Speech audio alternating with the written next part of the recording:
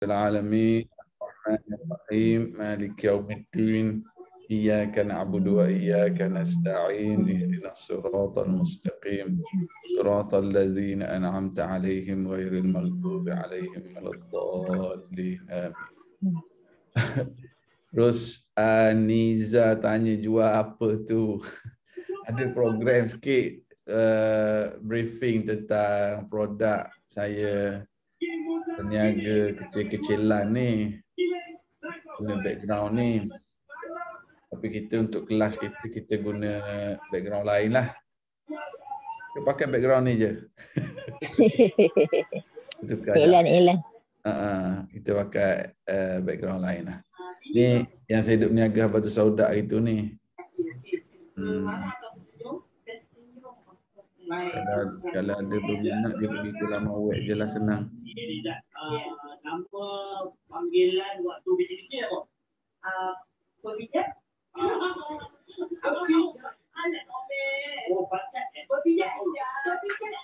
Oh, Riyah tu. Ha, nanti bila dia silent kita mula. Dah. Okey. Um, so alhamdulillah wassalatu wassalamu ala Rasulillah wa ala alihi wa sahbihi wa man wala. Kalau uh, boleh dengar suara saya, boleh nampak dengan jelas, tulis sikit di ruangan chat alhamdulillah. Tulis sikit. Supaya saya tahu orang boleh dengar suara saya dan gambar jelas, suara jelas, tulis Alhamdulillah dari Kelang. Alhamdulillah dari Subang. Alhamdulillah dari Sungai Buloh. Okey, Masnita. NU Central. Norlela Makno dari Melaka. Masya Allah orang Melakau. Macam mana kat Melaka nak pilih uh, kerajaan baru ni? Hei, pilih yang tak suka bergaduh lah. Pilih yang suka fokus nak selesai masalah rakyat. Allahu Akbar. Norinon dari Sungai Buloh. Semua kan banyak bergaduh je. Azura dari Denai Alam. Aminah Ahmad dari Melaka. Oh, ramai Melaka. Jamilah dari KL. Di Melaka ada seorang kawan saya yang belajar di Yaman dulu. Jadi calon di Serkam. Ustaz Bilal. Ustaz Bilal. Dia ni orang kuat travel Zahafiz uh, di Serkam. Jadi calon di Serkam. Ustaz Bilal, dia belajar di Yaman. Ketua pelajar kat Yaman dulu. Hmm. Sekarang orang kuat travel Zahafiz. Okay, eh? semua ada dah. Kita boleh mula hari ini. Bismillahirrahmanirrahim. Kita sambung bab sabar. Hari ini kita masuk hadis yang ketujuh. Buku yang sama dengan saya, muka surat 57. Buku ni, muka surat 57. Cuba tulis di ruangan chat yang versi-versi lain lagi. Muka surat berapa? Ha, di muka surat berapa? Boleh tulis di ruangan chat.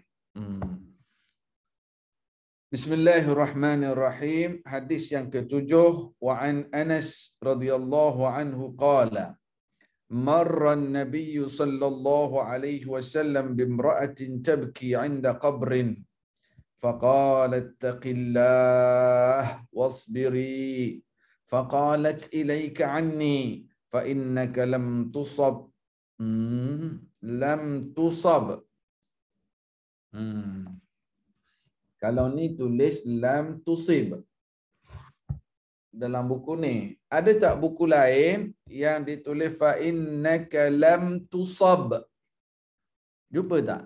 Ilaika anni fa innaka lam tusib atau tusab.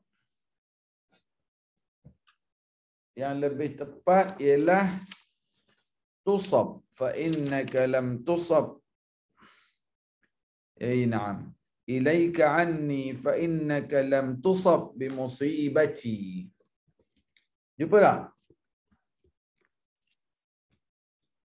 Jumpa tak? Tusab atau tusib? Lebih tepat, tusab. Ini dalam hadis nombor tujuh, uh, baris yang kedua,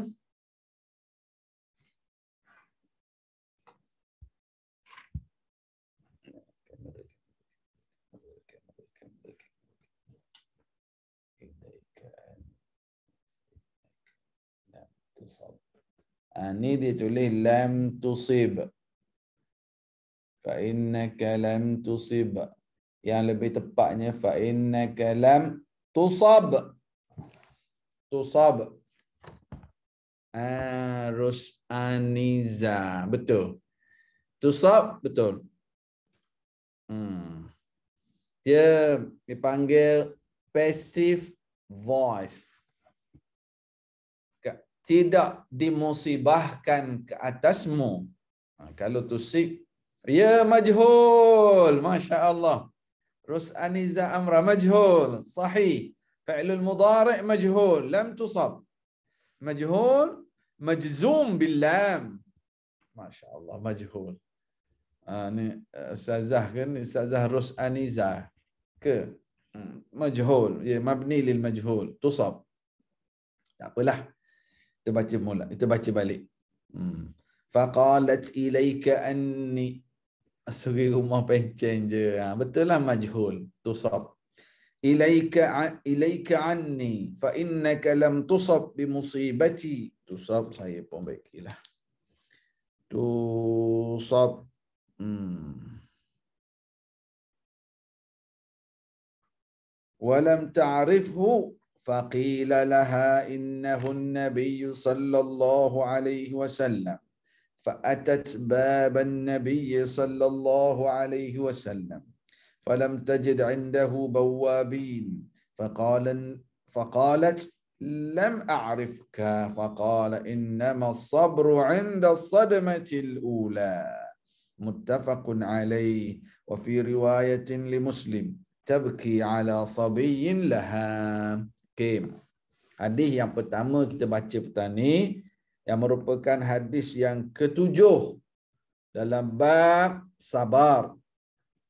Dari Anas bin Malik radhiyallahu anhu katanya Nabi sallallahu alaihi wasallam berjalan melalui seorang wanita yang sedang menangis di atas sebuah kubur.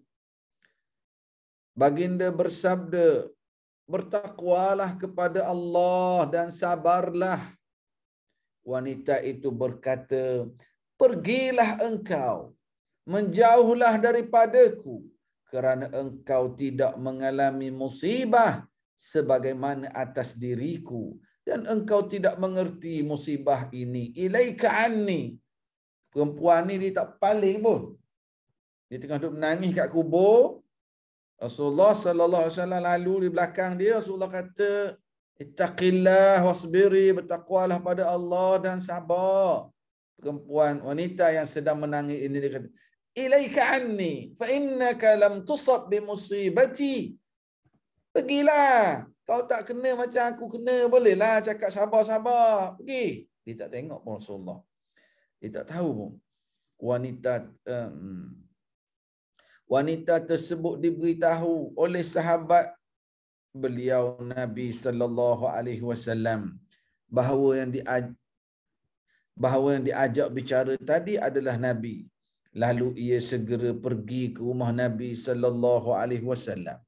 Tetapi di sana ia tidak mendapati penjaga pintu sehingga dapat masuk tanpa bersusah payah. Hmm. Dia menyangka Nabi ni macam raja-raja. Nak pergi rumah Nabi ada bodyguard, nak masuk pintu. Tapi dia pergi sampai-sampai, eh, tak ada pun, masuk je. Ha. Wanita itu berkata, sebenarnya saya tidak mengetahui bahawa yang berbicara tadi adalah engkau, wahai Rasulullah. Rasulullah, saya minta maaf lah. Tadi saya tak tahu yang suruh saya bertakwa, suruh saya sabar, saya jawab macam tu tadi. Saya tak perasan, saya tak tahu Rasulullah. Saya minta maaf Rasulullah, kata perempuan ini. Lalu Nabi menjawab, Innamas sabru inda sadmatil ula. Sesungguhnya kesabaran itu hanyalah pada pukulan yang pertama dari bala. Hmm. Ada tak yang uh, yang dalam grup kita sekarang petang ni perkataan lain? Dalam sini dia, dia yang yang ucapan Rasulullah kat ujung sekali tu. Sesungguhnya kesabaran itu hanyalah pada pukulan yang pertama. Ada tak siapa-siapa yang perkataannya lain? Pukulan pertama tu. Hmm. Ada tak? Pukulan pertama. Ada tak wording lain dalam kitab masing-masing? Hmm? Ada tak wording-wording lain? Cuba tulis di ruangan chat ataupun on mic tolong baca. Okey, sesungguhnya sabar itu pada musibah yang pertama. Ha, kalau yang kat sini dia kata sesungguhnya kesabaran itu hanyalah pada pukulan yang pertama dari bala. Yang Puan Ros Aniza dalam kitabnya tulis sesungguhnya sabar itu ada pada musibah yang pertama. Ada tak yang yang version-version lain? Kalau ada tolong tulis di ruangan chat ataupun uh, buka mic pun tak apa tolong baca. Saya nak tengok. Kalau ada yang ada tak yang, yang guna English translation, boleh juga. Saya uh, sangat seronok sekiranya ada di kalangan kita yang guna English translation, boleh kita banding-bandingkan terjemahan. Sekarang ni yang di buku saya, dia tulis kesabaran itu pada pukulan yang pertama yang di Kak Ros Aniza ni dia tulis sesungguhnya sahabat itu pada musibah yang pertama. Yang Nabi sebut innama sabru inda sadmatil ula. Apa maksud as-sadmatil ula? Okey, maknanya tak ada orang respon, maknanya mungkin dua ni saja. Hmm. Apa maksud Rasulullah? Dia macam ni, gini. Eh, okey, Fatimah Syam. Buku saya sifat sabar yang terbaik adalah ketika mendapat musibah yang mengejut. Oh, ini ada satu versi lagi. Ada tak versi-versi lain? Ini perlu pada belajar ni. Okey, apa maksud? Okey, kita faham dulu. Kisah perempuan ni hidup menangis kat kubur. Rasulullah sallallahu alaihi wasallam lalu belakang dia Rasulullah kata ittaqillah wasbir bertakwalah pada Allah dan sabar. Itu nasihat Rasulullah. Lalu Rasulullah pun berlalu. Perempuan ni dijawab.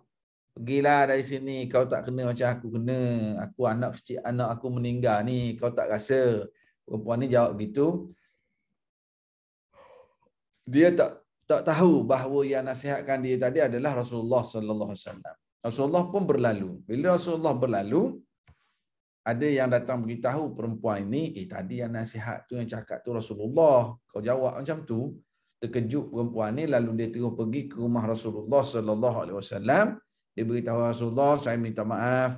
Tadi saya tak perasan, saya tak, tahu Rasulullah yang tegur saya tadi. Ketika itu Rasulullah jawab, in innama sabru inda sadmatil ula. Apa maksudnya? Gini maksudnya. Sesungguhnya sabar yang terbaik ialah pada saat sadmatul ula. Apa maksud sadmatul ula? Asal perkataan sadmah kalau sebut kereta A berjalan, kereta B pom melanggar. Ini sadmah. Sadmah disebut accident. Uff. As-sadmatul ula maksudnya saat berlaku musibah tu. Ha. Jadi Nabi jawab pada perempuan tadi bahawa sesungguhnya sabar yang sebenar-benarnya the best the bestest the most bestest sabar yang paling tinggi nilainya ialah pada saat sadmatul ula when it happen uh, musibah yang mula-mula dari segala ujian sebelum ini dia maksud Nabi nak beritahu perempuan ni masa anak dia meninggal, anak dia di, ditanam, masa meninggal itulah sadmatul ula. Itu sabar yang paling tinggi nilainya. Jadi sekarang dah tanam, dah balik, dah pergi jumpa Rasulullah. Sabar, bagus. Tetapi sabar yang paling hebat ialah pom pada saat berlaku. Kita kemalangan, orang langgar kereta kita, kita ada masalah. Anak buat pecah pasu bunga. Pam pecah pasu bunga. Itu sadmatul ula. Pom pom pom pom pom pom pom ah, baru balik Langkawi beli pasu dalam bayar kasih akak mahal. Ah, rosaknya semua. Pom. Lepas tu dia pun astagfirullah, astagfirullah, astagfirullah dia pun sabar balik, sabar. Jadi yang dia sabar astagfirullah ni bagus. Tetapi sabar yang paling tinggi ni lainnya masa pasu bunga tadi pak jatuh pecah. Sabar. Astagfirullahalazim. Auzubillah minasyaitanirrajim. Ha, kita kita cubik dia tapi dengan penuh sabar. Cubik disiplin bukan cubik emosi. Jadi ini maksud yang Nabi sebut pada wanita ini sabar yang paling tinggi nilainya ialah pada saat sadmatil ula. At the time ha, masa musibah berlaku. Boleh faham tak? Kita nak sebut, kita nak buat ayat macam ni. Saya terang dah. Tapi yang maksud Nabi cakap pada perempuan ni. Sebab sekarang ni perempuan ni dah sabar dah. Bagus. Dia pergi jumpa Rasulullah. Dia sedar. Dia faham nasihat Rasulullah. Dia pun datang minta maaf. Dia pun dah sabar. Tapi Nabi kata sabar yang yang terbaik ialah pada saat musibah itu mula-mula berlaku. Ha. Kita nak buat ayat macam ni. Hmm. Can anybody help me tulis sikit kat ruangan chat tu? Sabar macam mana? Nak buat tepat ayat macam mana? Berlaku Ustaz. Ha? Tepat masa berlaku. Ha, pada tepat saat apa? Pada saat tepat. berlaku. Tepat, tepat. Tepat. Ah, tepat masa benda tu berlaku. Yeah, passion ah passion is becoming only at the first stroke of grief. Ha. Ya, yeah, semasa kejadian only at the first stroke of grief. Grief ni apa eh kak? Grief ni apa? Musibah ke? Ujian, musibah. Grief. Grief tu kesedihan Ustaz. Ah, uh, grief tu kesedihan. Ya betul. At the first stroke of grief. Ya, musibah kesedihan. Ya. Grief, grief saya tahu. Dekat perempuan ni pergi tu dekat grave lah, kat kubur. grief. Ah. Uh, at the first stroke of grief. Ya. Ha, ni yang ini yang saya kata kalau ada English translation kadang-kadang dia tengok beza ayat dengan terjemahan yang awal tadi kan. Hmm. Pukulan yang pertama dari bala. Ha, bila yang English at the first stroke of grief. Kita pun nampak maksudnya. So, ya, ketika kesedihan semasa kejadian ya. Jadi sekarang ni hadis ini juga kisah Bagaimana saya minggu lepas kita baca kisah yang Nabi bercerita berlaku pada umat dahulu yang budak yang belajar sihir itu terbincang minggu lepas. Sekarang ni kisah juga tetapi yang berlaku sendiri pada zaman Nabi Muhammad sallallahu alaihi wasallam. Perempuan ni sedih sangat anaknya meninggal macam kita lah.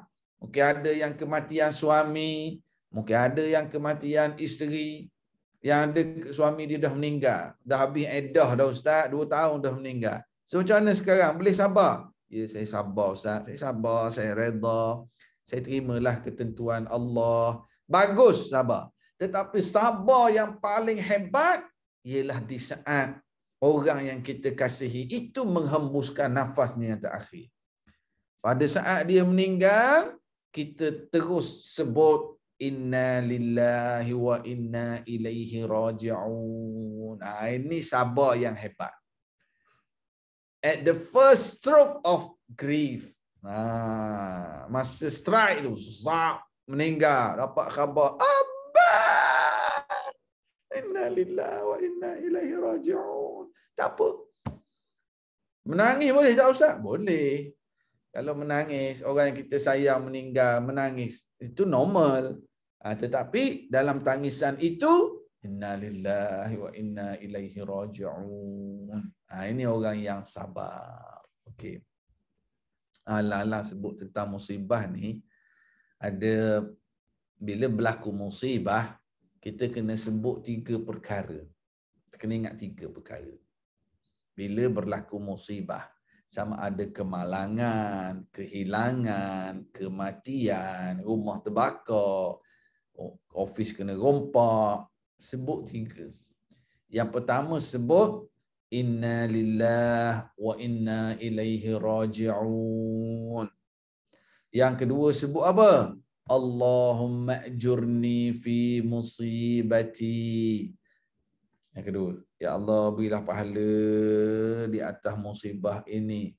Wa khlufni khairan minha. Yang ketiga sebut apa? Gantikanlah yang lebih baik. Ha. Ini ciri-ciri orang yang sabar. Apabila berlaku musibah, dia sebut tiga perkara ni. Sempat cantik tak tu? Sempat tak? Nak kena ulang balik ke tak payah dah? Tiga ni. Nak sebut apa? Tak payah dah eh? Kita baca. Kena nak sebut balik. Kalau berlaku musibah, kita kena sebut tiga perkara. Ambil nota, ambil nota sikit. Kalau berlaku musibah, kita kena sebut tiga perkara. Yang pertama sebut apa? Yang pertama sebut apa? Inna lillahi wa inna ilaihi raji'un. Inna lillahi wa inna ilaihi raji'un.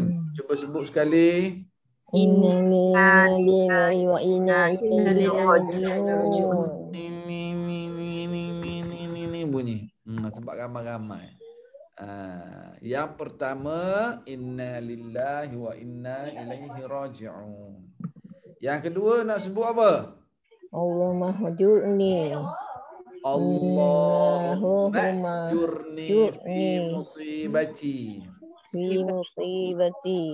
Ah, saya nak guna tahir? Mahjurni bi khairum min. Saya tu Arabic. Allah Allahumma. Allahumma. Jurni. Allahumma. Fi musibati wahjurni Allahumma. Khairu minha. Allahumma.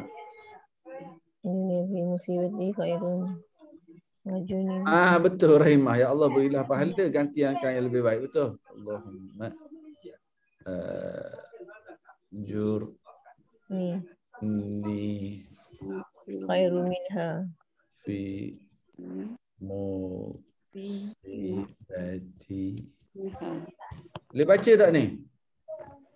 Allahumma ajurni fi musibati. khairu min wakhluf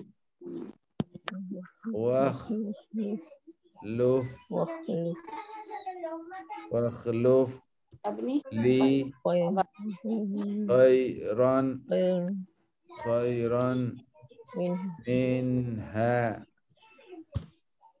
Boleh baca tak kat ruangan chat tu? Boleh baca tak?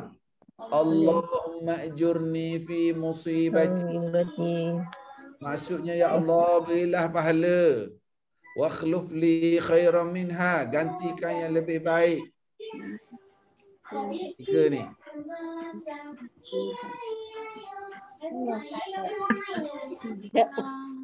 mak dia anak dia Ustaz ya Okey. Bila berlaku musibah sebut tiga. Yang pertama inna lillahi wa inna ilaihi raji'un. Yang kedua sebut Allahumma jurni fi musibati. Maksudnya yang Kak Rahimah tulis atas tu.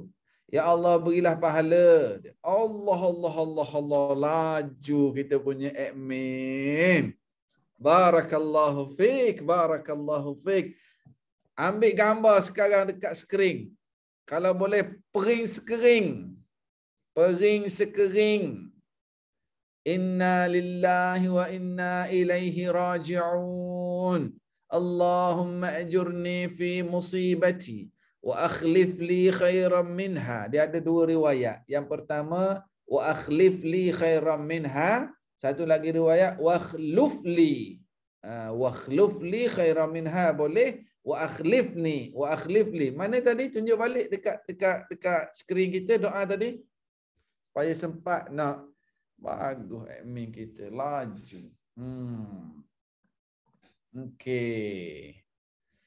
Inna lillahi wa inna ilaihi raji'un. Allah ma'jurni fi musibati wa akhlif li. Ha, dia ada dua riwayat. Wa akhlif li khairan minha boleh. Wa akhluf li khairan minha pun boleh. Masya Allah. So ingat tak tiga tu? Ke musibah. Na'udzubillah dengar kata Allah menantu aksiden. Kata na'udzubillah. Allah dengar rumah terbakar. Allah Hafiz kena rompak. Allah suami meninggal, isteri meninggal, ayah meninggal. Allah berlaku ni ni. Allah inna lillahi wa inna ilaihi raji'un. Allahumma ajurni fi musibati wa akhlif li khairan minha. Nabi sallallahu alaihi wasallam menjanjikan siapa yang ditimpa musibah lalu baca tiga ini Allah Ta'ala akan gantikan kepadanya yang lebih baik, yang lebih baik, yang lebih baik.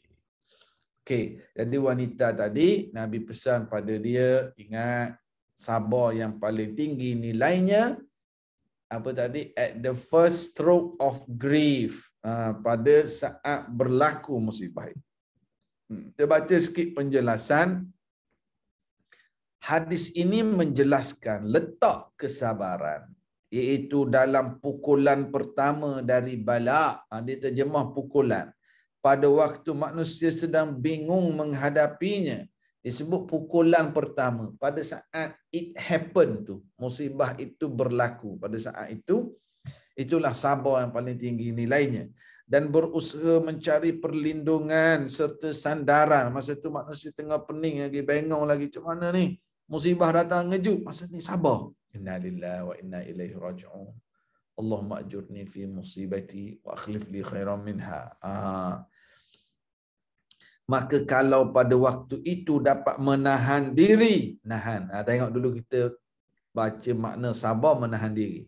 Dari pelbagai gangguan syaitan yang merasa mendapat kesempatan sama ada untuk menjerumuskannya, maka itulah sabar. Memang bila ditimpa musibah kita tengah panik kita tengah uh, orang panggil apa blur. Kita tengah blur lagi. Masa tu syaitan nak ambil peluang nak kacau kita.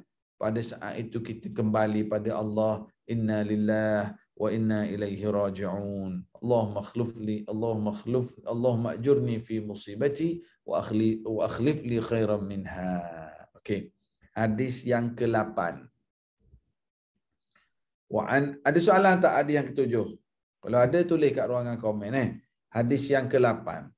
Wa an Abi Hurairah radhiyallahu anhu anna Rasulullah sallallahu alaihi wasallam qala يقول الله تعالى ما لعبد المؤمن عندي جزاء إذا قبضت صفيه من أهل الدنيا ثم احتسبه إلا الجنة ما شاء الله Rawahul Bukhari. Hmm. Dari Abi Hurairah radhiyallahu anhu bahwasanya Rasulullah sallallahu Rasulullah sallallahu alaihi wasallam bersabda, Allah berfirman, Tidak ada balasan bagi seorang hamba, seseorang hambaku yang beriman di sisiku di waktu aku mengambil, aku mematikan kekasihnya dari ahli dunia. Kemudian ia mengharapkan keredaan Allah, melainkan orang itu akan mendapatkan syurga. Kalimah kekasih ialah siapa sahaja menjadi kesayangannya, sama ada anak, isteri, ibu, ayah, saudara dan lainnya. Okey. Hadis yang ke-8, ini hadis Qudsi. Bila kita jumpa perkataan, Rasulullah bersabda Allah berfirman. Ha, ini hadis qudsi. Rasulullah sallallahu alaihi wasallam meriwayatkannya dan Imam Bukhari riwayatkan hadis ini Allah menyatakan bahawa tidak ada balasan bagi seseorang hamba yang aku matikan orang yang dia sayang sekali. Anak dia ke isteri dia ke suami dia ke mak dia ke ayah dia ke.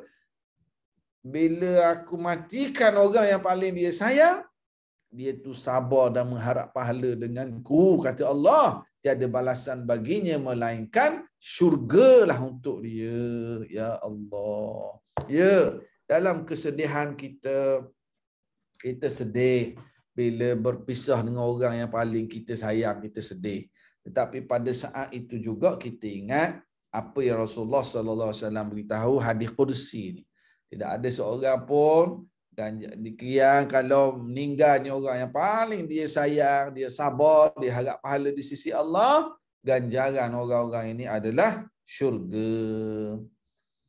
Ada tak? Mesti saya yakin di kalangan kita petang ni ada yang ya yang melalui saat-saat sebegini. Ada di kalangan kita saya yakin melalui saat-saat ujian, mungkin suaminya meninggal satu ketika dulu ataupun ada yang diuji isterinya meninggal satu ketika dulu ataupun pernah ada di kalangan kita yang ujian dia anak dia meninggal dulu pada dia. Ada tak? Ada tak di kalangan kita petani? Ada tak yang ialah ya suami dia meninggal ataupun isteri dia meninggal ada tak ada tak yang sedang menonton petani kita sebut inna lillahi wa inna ilaihi raji'un. Moga-moga yang telah pergi dahulu itu mereka ditempatkan di kalangan hamba-hamba Allah yang saleh. Jadi cuba kita renung. Sekarang kita sabar. Ya, kita terima dah hakikat, kita reda. Tak apalah. Ustaz macam mana ustaz eh? Tang ni baru dengar hadis macam ni ustaz. Saya dulu memanglah masa kematian suami saya ustaz. Masa kematian anak saya, saya menangis. Saya rasa macam saya pun tak nak hidup dah Ustaz. Ha, masa tu tak ingat, masa tu tak mengaji hadis lagi. Tak PKP lagi. Jadi tak dengar kuliah lagi. Habis macam mana? Ha, tak apalah. Yang lepas-lepas dah tu kita astagfirullahalazim. Ingat balik Ustaz saya merau, menangis dulu. Abang, kenapa apa tinggalkan saya? Uh, masa tu tak belajar lagi. Nah, sekarang kita dah belajar, kita astaghfirullahalazim, doakan banyak-banyak pada arwah insya-Allah memberi manfaat buatnya di sana. Okey. Jadi ini hadis qudsi. Rasulullah sallallahu alaihi wasallam kata Allah berfirman, siapa sahaja yang Allah Taala ambil kekasih hatinya lalu dia sabar, dia harap pahala, ganjaran bagi orang seperti ini adalah syurga. Hadis yang kesembilan. Hmm. Wa'an ah, ni bagus. Ini berkait dengan suasana kita sekarang. Sangat-sangat related. Wa'an Aisyah radhiyallahu anha أنها سألت رسول الله صلى الله عليه وسلم عن الطاعون فأخبرها أنه كان عذابا يبعثه الله تعالى على من يشاء فجعله الله تعالى رحمة للمؤمنين فليس من عبد يقع في الطاعون فيمكث في بلده صابرا محتسبا يعلم أنه لا يصيبه إلا ما كتب الله له إلا كان له مثل أجر الشهيد رواه البخاري يعني bagus ini berkait dengan suasana wabak COVID-19 ni. Dari Aisyah radhiyallahu anha bahawasanya dia bertanya kepada Rasulullah sallallahu alaihi wasallam tentang penyakit taun. Lalu beliau memberitahukan bahawa sesungguhnya taun itu adalah sebahagia sebagai ah, sebagai seksaan yang dikirimkan oleh Allah kepada siapa sahaja yang dikehendakinya. Tetapi juga sebagai rahmat yang dijadikan oleh Allah kepada kaum mukminin. Maka tidak seorang hamba pun yang ditimpa oleh taun kemudian menetap di negerinya sambil bersabar dan mengharapkan keredaan Allah serta mengetahui bahawa taun itu tidak akan mengenainya kecuali kerana telah ditetapkan oleh Allah untuknya kecuali ia akan memperoleh seperti pahala orang yang mati syahid. Hmm. Ini masih lagi dalam bab sabar.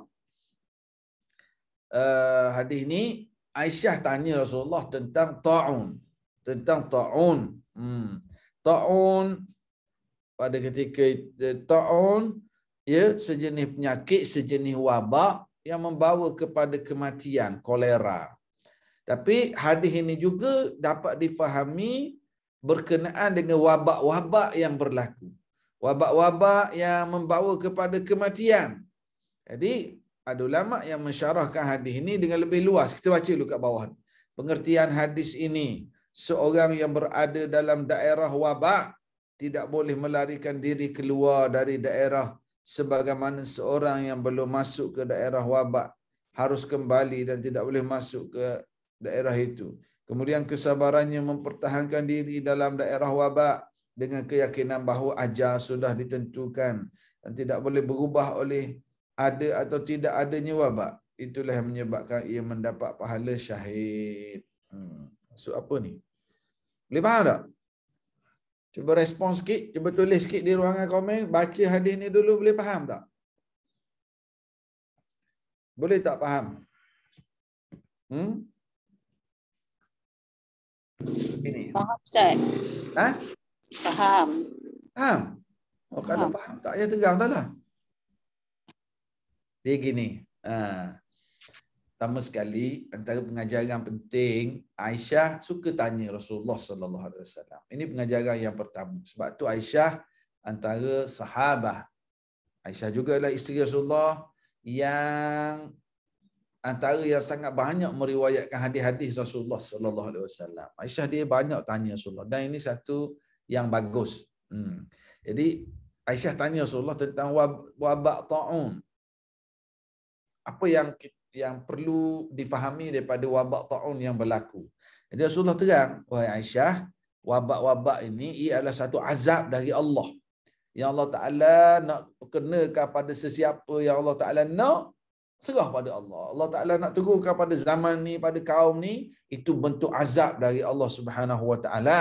Tetapi dalam azab yang diturunkan itu, itulah itu ada rahmat bagi orang yang beriman. Sebab orang yang beriman, lagi kuat pergantungannya dengan Allah bila wabak datang. Tanyalah siapa-siapa yang ada pengalaman positif COVID ataupun ahli keluarganya positif COVID. Macam mana doa dan munajat dia kepada Allah sepanjang kuarantin tu? Ada tak yang dalam ni sekarang yang pernah positif COVID? Ada tak? Raise your hand please.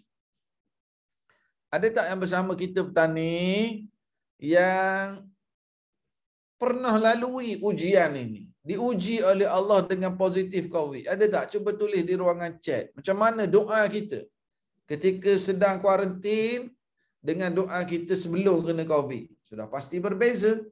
Maknanya kita semakin kuat pengaduan kepada Allah. Semakin banyak munajat kita pada Allah. Ini menunjukkan bahawa musibah yang datang, wabak ini juga adalah rahmat. Seseorang itu lagi dekat dengan Allah. Okey. Dan kenapa dia kata tidak bergerak stay kat negerinya? Sebab ada satu hadis yang lain.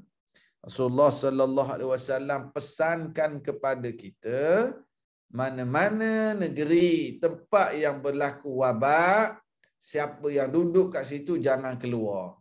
Yang dari luar jangan masuk ke tempat wabak. Maknanya Nabi dah lama ajar kepada kita berkenaan dengan kuarantin.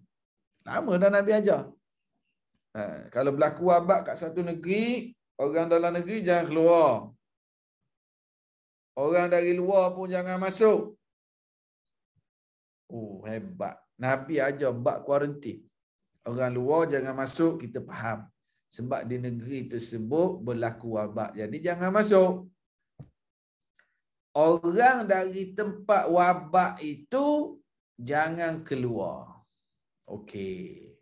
Jangan keluar ni orang yang dah kena wabak, kita faham jangan keluar. Macam mana orang yang belum kena wabak? Boleh tak dia nak lari keluar ataupun dia perlu stay juga? Bagi respon sikit, saya nak tanya pandangan semua yang hadir. Tanya ni. Wabak berlaku kat satu tempat, jangan masuk. Itu kita faham jelas. Nabi juga sebut yang duduk dalam negeri tempat wabak berlaku jangan keluar. Okey. Jangan keluar. Okey, sekarang ni yang duduk di tempat wabak ada dua ada dua kategori. Ada yang dah kena wabak, ada yang belum kena. Yang dah kena wabak, kita faham. Jangan keluar. Nanti awak bawa keluar pula. Okay. Bagaimana yang belum kena? Perlu stay ataupun boleh lari keluar? Stay je Ustaz. Ha? Duduk diam-diam. Stay je dekat wabak tu. Dah kita duduk kat mana? Yang jawab siapa yang jawab ni? Kita duduk Stay at home Ustaz. Ha? Stay at home. Stay at home. Stay at home. Stay at home. Ha. Maksudnya kalau berlaku wabak, kita belum kena, tak nak lari keluar ke? Tak boleh duduk rumah je Ustaz. Takut lari keluar cari naas. tak sekarang ni wabak berlaku. Kat lain tak berlaku. Kita belum kena. Ada orang yang dah kena. Kita ni patut stay tunggu je ke ataupun kita lari keluar ke negeri lain. Contohnya Selangor berlaku wabak. Ni kita tak cakap bab COVID. Kita tak cakap bab COVID. Kita cakap di Selangor berlaku wabak. Di Pahang tak ada. Di Negeri Sembilan tak ada. So kita duduk di Selangor berlaku wabak. Kita belum kena. Adakah kita stay je di Selangor ataupun lari pergi ke Pahang ke Negeri Sembilan? Lebih baik lari Ustaz. Jauhkan ha. daripada wabak tu. Ha. Lebih baik lari ke stay? Ini kita tak bincang bab COVID eh. Kita nak bincang bab hadis yang kita perlu fahami. Yang dari luar jangan masuk Selangor sebab ada wabak. Faham. Yang dalam Selangor yang dah kena jangan keluar. Faham. Yang belum kena. Duduk di Selangor. Adakah lari ke Pahang, ke Negeri Sembilan ataupun stay dalam Selangor? Ah. Ah. Ah. Ah. Ini betul. Kak Noliza Hamzah. Eh, Kak Noliza pula. Uh, apa kat atas tadi? Kak Rahimah. Ada kemungkinan kita ada jangkitan tapi sehat. So, elok kita stay. Fatimah Syam yang belum kena stay. Kebarangkalian sangat tinggi untuk kena. Kalau keluar jadi pembawa carrier. Stay kot. Kau kita bawa wabak itu ke tempat lain. Stay dalam negeri sebab Nabi suruh kita sabar. Kematian yang Allah tentukan wabak adalah penyebab. Masya Allah. Senang ngajar orang pandai-pandai dah ni. Ha, jawapan betul selalu. Itu betul je. Ya. Yeah. Ha. Tak ada simptom. Tak ada simptom. Tak bermakna belum dijangkiti. Ya betul Kak Aslina. So sekarang ini berkenaan dengan wabak kita telah ada panduan daripada Nabi Muhammad sallallahu alaihi wasallam ini menguatkan lagi iman kita bahawa Rasulullah teach us everything Islam is the way of life Rasulullah complete ajar pada kita dalam bab wabak dalam cerita kuarantin pun. Tetapi apabila dunia tidak ikut cara Nabi, berlaku di Wuhan, orang Wuhan datang juga ke Malaysia. Awal tahun 2000. Kata tak apa, boleh datang, boleh datang. Awal tahun 2000, sebelum kita lockdown, March 2000, eh, sorry, 2020. March 2020 kita mula lockdown. Januari, Februari kita terima lagi pelancong dari Wuhan masuk ke Malaysia. Kalau masih ingat. Ada pelancong dari China, dari Wuhan. Dan memang dari Wuhan. Ha? Jadi, kita tidak ikut cara Nabi SAW. Sepatutnya tak benar masuk dah ke negara kita. Yang dia dia pun tak boleh keluar. Tak boleh masuk. Walaupun dia nampak sehat. Tetapi ada kemungkinan menjadi carrier. Mungkin seseorang imun sistemnya kuat. Virus dah ada pada dirinya. Dia duduk di tempat wabak. Kalau dia dia nampak sehat. Tapi bila dia keluar, virus tu duduk bertenggek di badan dia. Sampai kat luar pergi singgah kat orang lain. Dia menjadi carrier menjadi pembawa kepada virus. Nabi dah ajar sistem kuarantin. Allahu akbar. Cuba kita tengok antara negara di dunia yang tak berapa ada sangat. Brunei. Brunei antara negara yang tak ada kes covid sangat. New Zealand Australia ada tak yang sedang menonton kita petani dari luar negara? Dari negara-negara. Ada negara-negara, ada negara-negara yang begitu betul-betul praktis lockdown. Allahu Akbar. Di New Zealand, saya ada itu duduk komunikasi sahabat-sahabat kat sana. Oh, kami macam biasa dah Ustaz. Dia betul-betul praktis sungguh. Kuarantin yang diajar oleh Rasulullah sallallahu alaihi wasallam. Balik pada hadis nombor sembilan yang kita baca ini Rasulullah kata seseorang yang dia pegang hadis tadi tak keluarlah. Stay. Stay di negeri tempat berlaku wabak. Tiba-tiba dia terkena wabak. Dia pun beriman aku stay kat sini sebab nabi tak benar keluar aku stay. Mungkin aku kena mungkin aku tak kena. Meninggal ke tak meninggal semuanya ketentuan Allah pak dia pun kena bila dia kena, dia tak menyalahkan hadis Nabi. Dia tak menyalahkan kuarantin. Dia terus hadap. Dan kemudian dia meninggal disebabkan wabak itu dalam keadaan hatinya yakin bahawa semua yang berlaku ni atas aturan Allah, dia mendapat ganjaran orang mati syahid. Allahu Akbar. Ini cara Nabi, cara Islam. Ini cara Islam. Sebelum kena, ada keedah-keedahnya mengelakkan mudarat, jaga SOP, jangan keluar, jangan masuk. Bila dah kena, sabar. Faham ini aturan Allah. Inna lillahi wa inna ilaihi raji'un. Meninggal, dapat ganjaran orang mati syahid. Hmm. Hadis yang ke-10. Terbaca satu lagi. Uh, bab sabar ni ada banyak hadis.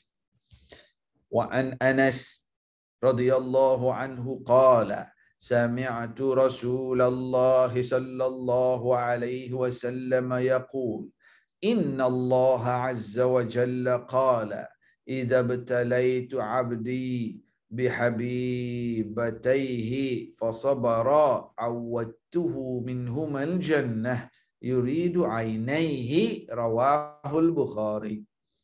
Dari Anas radhiyallahu anhu katanya saya mendengar Rasulullah sallallahu alaihi wasallam bersabda sesungguhnya Allah azza wa jalla berfirman jikalau aku memberi cubaan kepada hambaku dengan melenyapkan kedua belah matanya buta kemudian ia bersabar maka untuknya akan kuberi dengan syurga.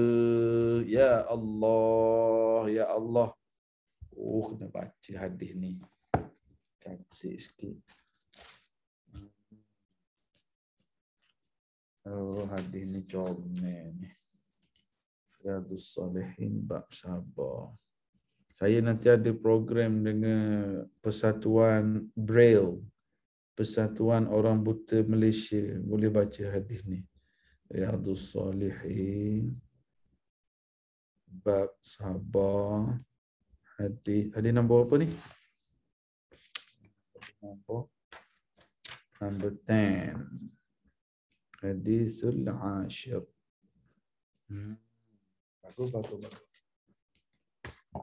Nanti bulan 12 ni ada program forum dengan Persatuan Orang Buta Malaysia saya Allah akbar hebat dia orang ni.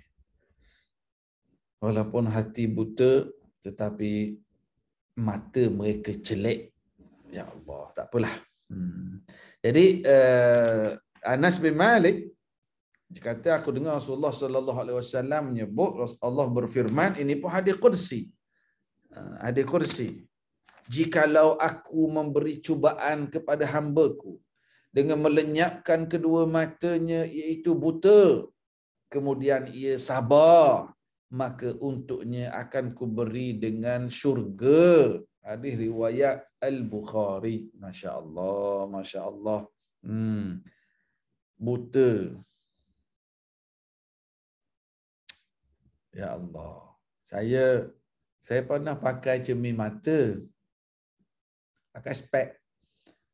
Saya pakai cermin mata sejak uh, sejak tingkatan dua. Hmm, tingkatan dua. Sekarang ni saya tingkatan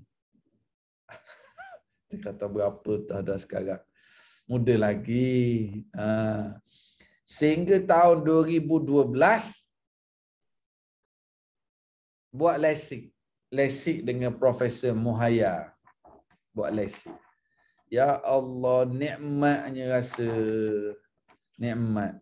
Sebab tahun 2012 itu cermin mata saya power 500 500 saya nampak orang kat depan tapi saya tak cam. Allah Ta'ala bagi rezeki buat lesik Dapat mata baru, subhanallah. Malam-malam pun kejut tidur tengok isteri kat sebelah, nampak jelas. Tak payah pakai spek dah nak tengok dia. Subhanallah. Dan untuk makluman semua, saya buat lesik dengan Prof. Muhaya tahun 2012. Sampai ke saat ini, ni saya tengah duduk cakap sekarang, saya tak tahu siapa yang bayar bil lesik tu. Sampai ini saya tak tahu.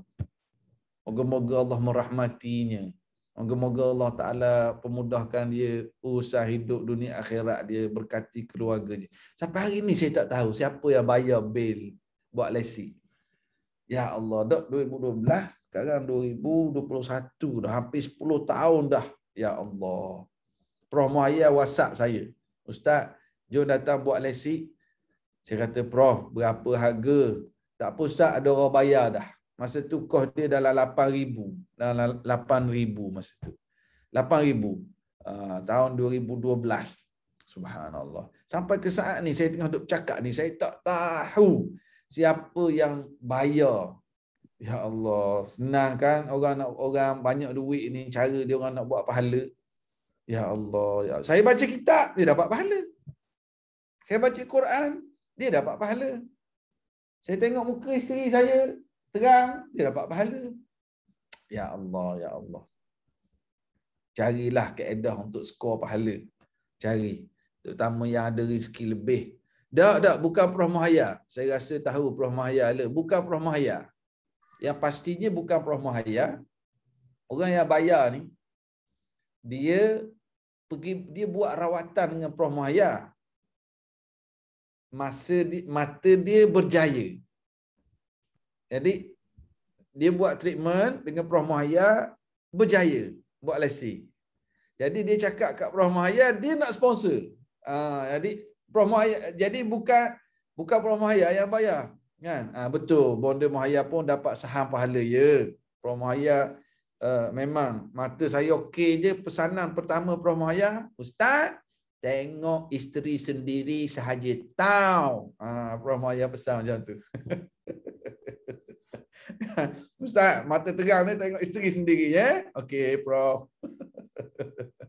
kan? Uh, tapi subhanallah itu cara orang buat pahala kan? Hebat. Ya Allah, moga-moga Allah rahmatinya.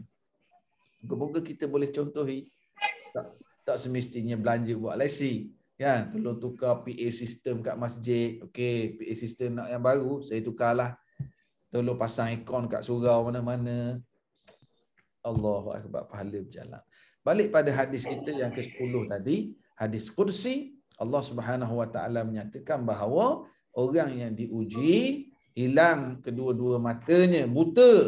Allahu akbar. Macam mana eh? Orang yang asalnya melihat diuji jadi tak nampak. Ia berbeza dengan orang yang lahir dalam keadaan memang tak nampak. Beza, beza. Tapi ada orang yang diuji hilang penglihatan. Allahu Akbar. Ya Allah. Hebat. Dan ia menjadi sebab dia masuk syurga. Hmm. Saya memang ada kenalan juga seorang dia kerja RTM dulu. Pencen dah. Abang Mat. Ya Allah. Dia asalnya celik. Jadi kau beli ayam eh? Kat eh? dalam bawa balik eh? Hanya ya? lupa tinggal lah sini. Nanti kejap lagi orang balik eh? Oh, nak balik dah? Mana kunci rumah kat dalam kan? Ada rasanya. Ha, kalau nak kunci pun kat sini ada. Okey, kita baca hadis yang ke-11. Hadis yang ke-11. Wa an Atha bin Abi Rabah qala. Qala li Ibnu Abbas radhiyallahu anhuma. ألا أريك امرأة من أهل الجنة فقلت بلى. قال هذه المرأة السوداء أتت النبي صلى الله عليه وسلم فقالت إني أسرع وإني أتكشف فادعوا الله تعالى لي. قال إن شئت صبرت ولك الجنة وإن شئت دعوت الله تعالى أن يعافيك. فقالت أصبر. فقالت إني أتكشف فادعوا الله. ألا أتكشف فدعا لها. متفق عليه. الله أكبر الله أكبر الله أكبر. Hmm. dari Atta bin Abi Rabah. Katanya Ibnu Abbas radhiyallahu anhuma berkata kepadaku sukakah saya tunjukkan kepadamu seorang wanita yang tergolong ahli syurga? Saya berkata baiklah. Sekarang ni Ibnu Abbas jumpa dengan Atta dua-dua ni adalah sahabat Nabi. Jadi Ibnu Abbas kata nak tak saya nak tunjuk ke awak seorang ahli syurga. Seorang perempuan ahli syurga. Perempuan tu masih hidup lagi. Perempuan tu masih hidup. Ibn Abbas kata, nak tak saya nak tunjukkan pada awak seorang perempuan ahli syurga. Atak bin Rabah kata, ha ya tunjuklah, saya nak tahu. Lalu Ibn Abbas kata, ni perempuan ni. Perempuan yang berkulit hitam ini, dia pernah datang jumpa Nabi sallallahu alaihi wasallam. Wanita hitam itu pernah datang kepada Nabi lalu berkata, sesungguhnya saya ini terserang oleh penyakit ayan. Hmm. Dan oleh sebab itu saya selalu membuka aurat tubuhku. Dan oleh sebab itu lalu saya membuka aurat tubuhku. Oleh kerananya harap Rasulullah mendoakan sembuhan untuk saya. Penyakit ayan. Penyakit apa? A-Y-A-N. Ayan. Ayan ni penyakit apa? Ayan. Dalam ada tak yang uh, version-version lain? Hmm. Ayan. Kalau orang Terengganu, dia panggil isteri dia ayang. Ayang. Yang ni ayan. Kak Rahayu tak uh, tak sedarkan diri. Eh, memang perkataan ayan tu maksudnya tak sedarkan diri ke? Oh dalam buku saya tak sedarkan diri. Uh-uh. Ada tak uh, perkataan sawan? Ah Iza Abdul Qadir. Sawan pi. Ah okey. Okey. Sawan Sawan. Sawan. Ya. Uh, ini biasanya gejala daripada penyakit epilepsi. Epilepsi. Epilepsi uh, yang kata macam gila babi lah penyakitnya. Mana dia tak sedar. Tu macam tu lah. Epilepsi daripada- ni, epilepsi ni kalau dengan sawan ada Sawan sama lah. tak? Uh, lebih kurang sama. sama. Ya. Kak Nolela tulis gila babi. Sawan babi. Epilepsi. Ha. Kalau sebut epilepsi, dia dia tak berapa babi sangat. Kalau sawan babi, gila babi tu baru dia nampak sikit faham. Kan? Itu nama nama medical term lah Ustaz. Ya, yeah, medical term epilepsi. Hmm. Macam amnion, amnion. Bahasa kita sebut air ketuban. Medical term amniotic, cecair amnion. Ha, ni epilepsi bahasa kampung sawan babi ataupun gila babi. Poinnya ialah perempuan berkulit hitam ini dia ada penyakit ni lah, penyakit sawan babi ataupun epilepsi ni. Jadi dia pun pergi jumpa Rasulullah sallallahu alaihi wasallam. Wahai Rasulullah, saya ada epilepsi Rasulullah. Payah Rasulullah, saya ada penyakit sawan dan ada masa saya jadi tak sedar diri. Bila saya tak sedar, aurat saya terbuka. Ha. Kalau dalam kitab ni dia sebut, dan oleh sebab itu lalu saya membuka aurat tubuhku. Bukan dia buka aurat. Bila penyakit itu menyerang, aurat dia terbuka. Dia tak sedar dah. Jadi perempuan ini dia resah, dia rusing. Dia rusing dengan penyakit yang menyebabkan aurat dia terbuka. Jadi dia jumpa Nabi sallallahu alaihi wasallam, wahai Rasulullah, tolong doakan kesembuhan untuk saya. Tolong doa Rasulullah supaya sembuh. Dia rusing, sebab aurat dia selalu terbuka, dia tak sedar dah bila sawan babi ni ataupun epilepsi ni menyerang diri dia. Bagus perempuan ni. Lalu Rasulullah sallallahu alaihi wasallam bersabda, ni tengok. Nabi bagi dua pilihan. Jika engkau sabar, kau akan dapat syurga.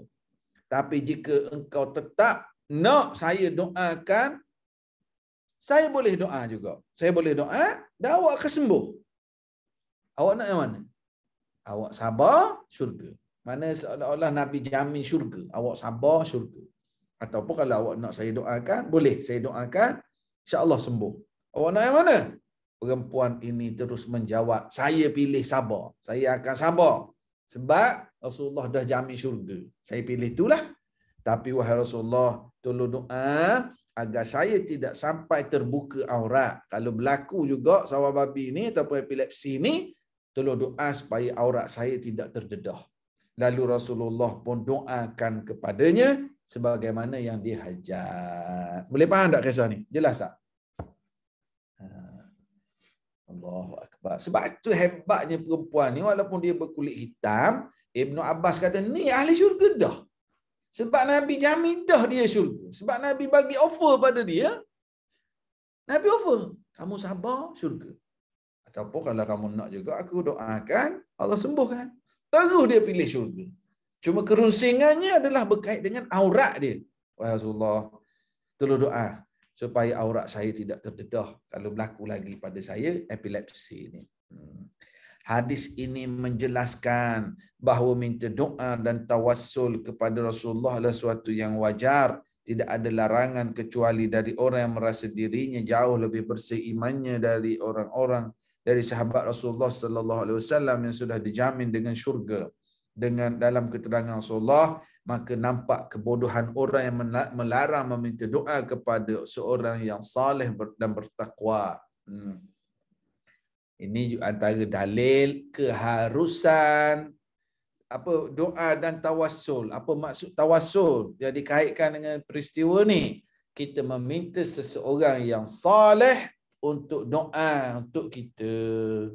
Contohnya kita ada penyakit tertentu, kita jumpa tok-tok guru, jumpa orang soleh, kita minta dia untuk tolong doakan untuk kita. Boleh tak? Boleh. Hmm. Cuma zaman sekarang, bila orang jumpa tok guru, apa perkara pertama dia buat? Ajak selfie. Patutnya jumpa tok-tok guru, jumpa ulama. Nombor satu sekali mintalah nasihat. Yang kedua mintalah daripada tok-tok guru ulama ini doa.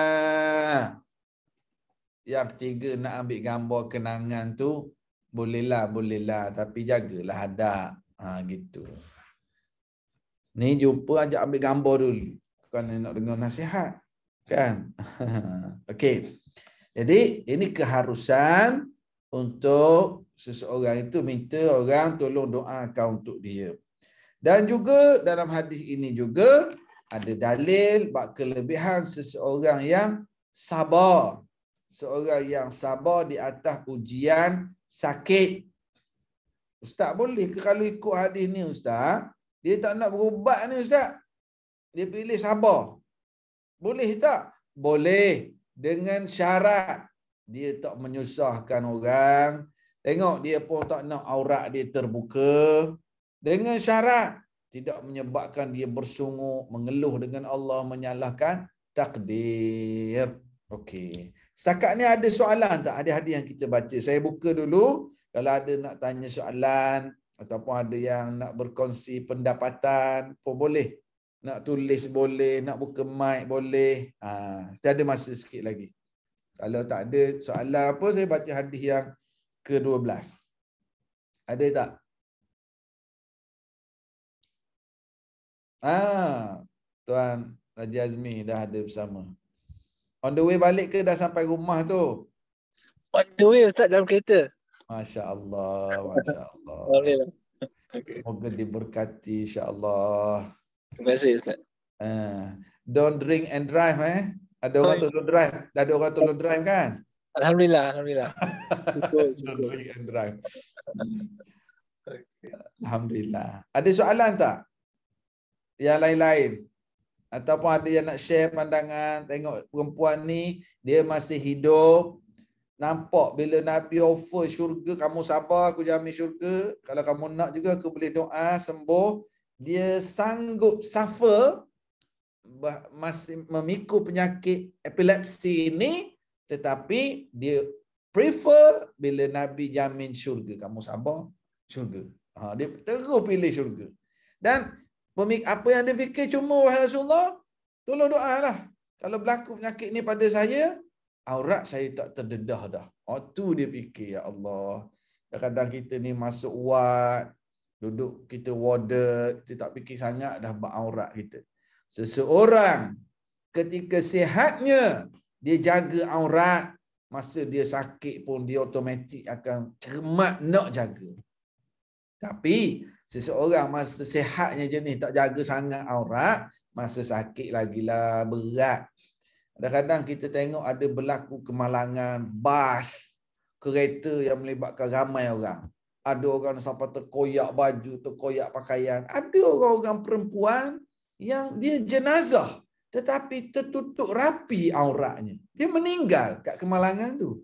Ha, ini orang yang jenis masa dia hidup, dia pun jenis jaga auratnya. Berlaku kemalangan, dia meninggal, Allah jaga aurat dia. Masya Allah, Masya Allah. Hmm. Adik perempuan ni apa yang bermain di kepala dia masalah aurat dia. Ha, Rasulullah tak apalah saya sabar. Tapi tolong doa. Kalau penyakit ini menyerang, aurat saya terjaga. Allahu'alam. Assalamualaikum Ustaz. Waalaikumsalam. Saya nak tanya satu soalan lah kan. Kalau misal kata tadi Ustaz kata musibah. Ah, kalau musibah antara kifarah yang kalau Allah beri pada seseorang tu dia berbeza ke ataupun sebenarnya kadang-kadang kita tak lakukan tapi dia tetap datang macam seakan ujian ke dugaan lepas tu kita boleh panggil tu dengan kifarah apa kafarah ha, macam tu Ustaz. Terima kasih Ustaz. Tu je. Bagus soalan ni. Bagus. Dia kaedahnya senang. Bila berlaku musibah pada seseorang, senang je. Kalau dia ni seorang yang taat pada Allah, yang kuat ibadah, musibah itu datang untuk mendekatkan lagi dia dengan Allah. Ini yang dipanggil ujian. Dia orang baik. Nabi-nabi, para nabi. Nabi, nabi. Datang ujian. Datang fitnah, datang uh, serangan musuh, ancaman, difitnah, diganggu. Nabi hadapi semua ini. Nabi ini, ialah Nabi, orang beriman. Ini adalah ujian dari Allah kepada para Nabi dan orang beriman untuk mendekatkan mereka dengan Allah. Kita, kita ni orang baik, orang yang jaga agama, orang yang jaga solat, jaga, jaga aurat, jaga halal haram. Tiba-tiba berlaku musibah. Ini ujian dari Allah untuk mendekatkan lagi kita dengan Allah. Ini ujian sebab Allah tahu kita akan sabar, kita akan inna lillahi wa inna ilaihi raji'un. Sebab Allah nak banyakkan lagi pahala sabar kita. Itu ujian. Kepada ahli maksiat, orang jenis tak peduli halal haram, tak peduli auratnya, tak peduli salatnya, berlaku musibah. Ha, ini kita boleh guna istilah kifarah. Ha, ini kita boleh guna istilah bala daripada Allah Subhanahu Wa Taala pada dia sebab dia hidup hidupnya dengan maksiat. Ustaz macam mana kalau berlaku kat satu tempat? Itulah kaedahnya. Datang tsunami dekat Aceh. Kata Aceh ramai orang baik, ramai orang soleh, ramai ada juga di tempat maksiat, ada juga surfing uh, apa ni panggil apa? Uh, surfing paradise. Ada tempat-tempat orang berpesta, tom datang banjir, datang malapetaka. Habis semua kena. Yang soleh pun kena, yang jahat pun kena.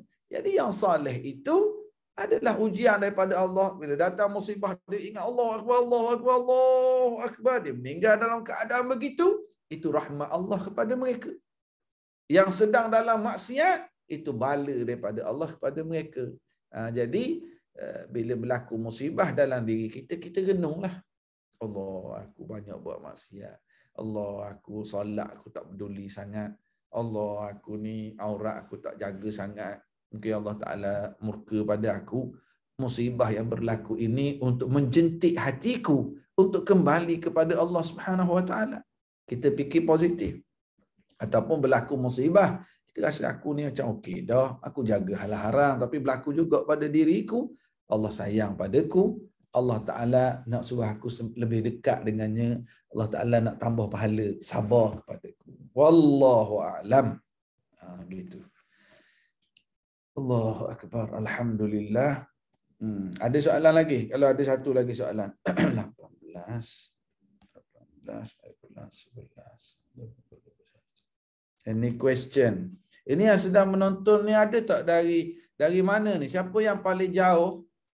Kita di Selangor, siapa yang paling jauh yang bersama petang ni? Yang paling jauh dari mana? Yang paling jauh sekali. Cuba tulis kat ruangan chat. Yang bersama kita petang ni, yang paling jauh dari mana? Hmm, kita nak tengok sikit. Yang paling jauh sekali. Abadin, sandakan. Masya Allah. Okeylah bakal kau. Okeylah bah kalau kau. Sandakan. Abadin. Aisyah dari Sungai Petani. Ui, orang alung. Setiap. Tahniah, Kedah. Tutup habis dah kedai-kedai judi. Kedai judi tak ada dah kat Kedah. Tahniah. Alhamdulillah. Dah tutup kedai judi di Kelantan tutup, di Terengganu tutup, di Kedah dah tutup. Masya Zainul Mat Isa dari Kuching. Mas Mas Nita sambil bergerak di dalam MRT. Masya Allah. Balik kerja ke MRT. Pasang earphone ke? Masya Allah. Moga-moga diberkati masa duduk dalam MRT duduk dalam majlis ilmu moga diberkati Kak Mas Nita kita tahniah kepada penganjur yang terus menganjurkan majlis ilmu ni Kak Syamsiah Wahab dari Melakau. Kak Syamsiah ni Melaka kawasan mana? Masya Allah Selamat mengundi orang Melaka. Macam mana nak pilih? Calon kat Melaka Ustaz. Pilihlah yang paling memberi manfaat kepada Islam. Yang paling tidak mudarat kepada Islam. Asmah Mahat dari Sungai Besar. Tak ada dah yang paling jauh nampak gaya dari Sandakan lah. Dari Sandakan, dari Kucing. Di seberang laut ni. Ha. Okey. Uh, kita insyaAllah panjang umur kita jumpa lagi minggu hadapan. Terima kasih kepada semua yang bersama. 80 orang ramai petang-petang ni. 80 orang boleh bersama 85 orang. Ha. Moga-moga kita semua dikurniakan istiqamah untuk terus berada dalam majlis ilmu untuk beramal dengan ilmu yang kita pelajari. Wallahu a'lamu bis-shawab. Assalamualaikum warahmatullahi wabarakatuh. Tadi ada yang tanya uh, sajalah saya share kalau ada kalau kalau ada yang berminat ustaz berniaga apa tadi ah uh, ni uh, kelas habis dah ni. Uh, ni saya pada yang rasa nak cuba amalkan habatus sauda